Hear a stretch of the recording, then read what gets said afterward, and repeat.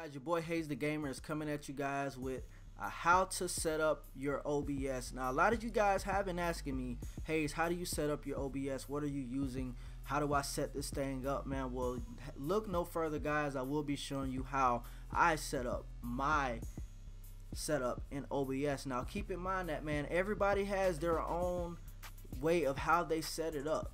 You know, so you can choose to pick how I pick it set up but man you should definitely go your own route man to see how you set it up. So without further ado smack a like on this video no like go just leave a like man. Let me know if you find this video very very helpful for you. Subscribe if you're new. Make sure you turn on your post notifications so you won't miss out on anything. So without further ado let's hop right into it. So now as you guys can see right here you see these things that say scenes or sources. So basically this scene is this I'm in a scene right now created a scene just named the scene. So basically the sources are the different things that I will add. I'll be showing you guys how I add my green screen my camera my gameplay my overlay my donation alerts my sub alerts and all that other good stuff. So first things first man you want to add your gameplay.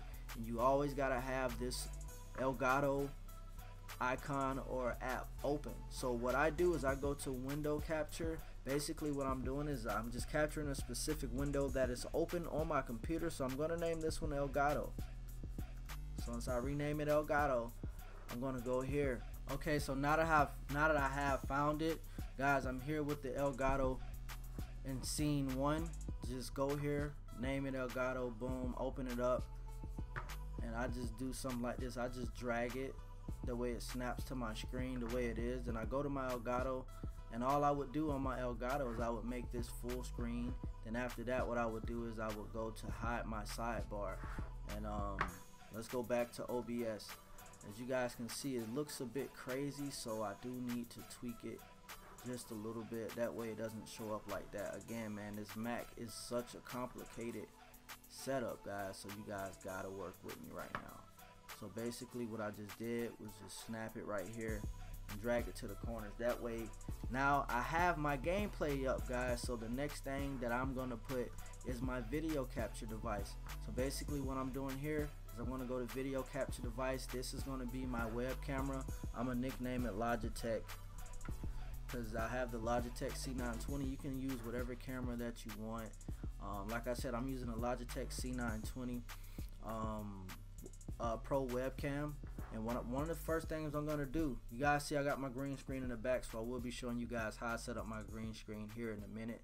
So here we go we're gonna go to Logitech you right click it. Then once you right click it you go to filters you go to effect filters then you go right here. You want to add a crop so I could crop out the white parts on my wall um, from my green screen. So I have everything written down with how I had it.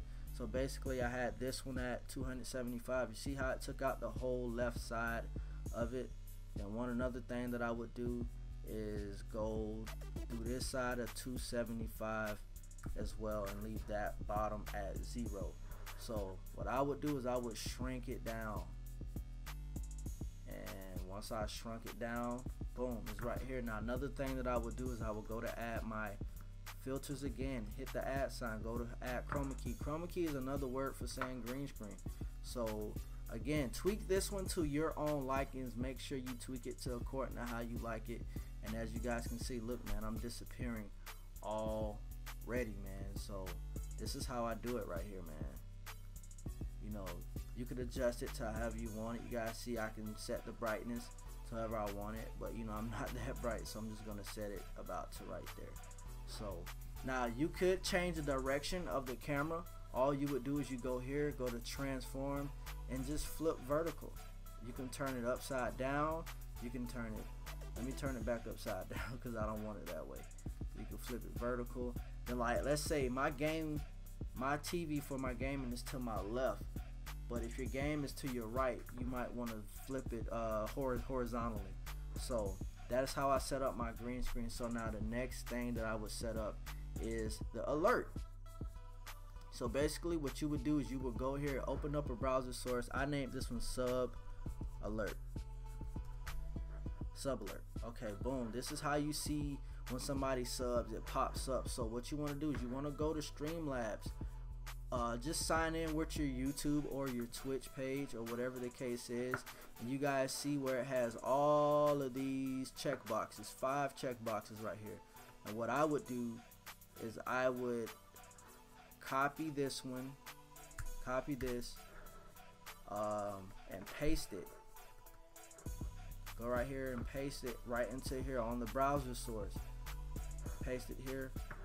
Now you guys see it, it has disappeared. I drag mine to the bottom right hand corner, then I shrink it. You know, and I always use this for guidance, man. That way it's not looking so big. And how do you know if it's gonna work? Let's just test the uh, let's just test the subscription. And as you guys can see, boom, it's right there. You could also test the donation alert as well. That one didn't work. So what I would do if it doesn't work, I would then go and like they have different um, URLs for it, but I will get to that in a second. So the next thing would be my donation ticker. How do people, how do you see the recent donators, man? Basically, it just scrolls around the bottom of the screen. So what I would do is I would go here and I would add another browser source, and I'm just gonna name this one donation ticker. That way you guys can see it scrolling. Same deal, man. I go here to Streamlabs. I go to donation ticker. I go here, the URL, copy it. Then I will go back into OBS and paste it into here. Normally you guys would see something scrolling around the bottom parts right here. But what I would do is I would like line it up with my webcam that way you guys can see it pretty good. So I will make it like a little bit smaller so that it works. So right now you don't see I don't know why but normally you would see it scrolling around the bottom left in my stream seeing who donated the last person to donate. So the next one is my sub count. So how do I add my sub count? Basically you go here you add another browser source and I'm gonna name it uh, sub count. Can't spell right now but sub count. So everybody knows, man, you go to livecounts.net just to get your sub count. All you do is you copy the URL and then you go back into OBS. Then you paste it in there. Boom. Now you guys see my sub count up here. And basically what you would do, how do I get it to look so small? What I would do, what I do is I go right here and I go back to filters and I add a crop that way you guys can see how small it looks and like that way. So um, basically I'm looking at my paper that I had it written down on. So I've had this one. Just tweak it to your likings. Um, yeah that's all you got to do. So tweak it to your likings as this one was 212 and the right side was 250 no it was 249 my bad and uh, this one was 298 bang. That's it right there. Boom. Now that I have my sub count you guys see it sitting at the top of the screen. I shrink it down and I just drag it. Boom. That's how I do it right there. Just drag it. And now you guys can see the sub count on how many subs do I get and all that other stuff. If you want to make it bigger you can. That's what I do. I make it a little bit bigger and the next thing would be my overlay. So you guys already know uh, y'all who are sub you guys know what my overlay is. So all you do you go back to the add sign you add an image. So this would be named overlay. Right here bang boom. So you would like find the image from your uh, computer. People uh, they, they make these for you and um, Photoshop. You know, there are people out there that can make it for, for you, and other people who um, who can teach you how to excuse me teach you how to do it yourself. So what I would do, I go here, add my overlay. Boom, now my overlay is in here now. So this is how you guys see the overlay. I shrink it down and I bring it up to like right here. That's how you guys see it at the top of my streams when I play 2K and um, all that other good stuff. So that's the next one and last but not least is my donation alert so go back here add a browser source I name it donation alert again guys this is just how I have mine set up So just go back to Streamlabs again, log in with your YouTube page or your YouTube login, whatever it is. Then you just go right back to your alert box. You see how you guys have all of these checked up here. So what I would do is I uncheck all of them. Then I copy the URL right here. Then what I would do next is I would go here and paste it. Paste it in there. Now I have my donation alert. That way every time somebody donates, it pops up. So let's test the donation. You guys can see it worked. It worked. So that is how I set up the stream guys. Again this is just like a setup. If you, if you guys want to go into like the more technical settings of bitrate audio bitrate and all that other stuff general streams I will get into that later. Now how do I stream it to YouTube?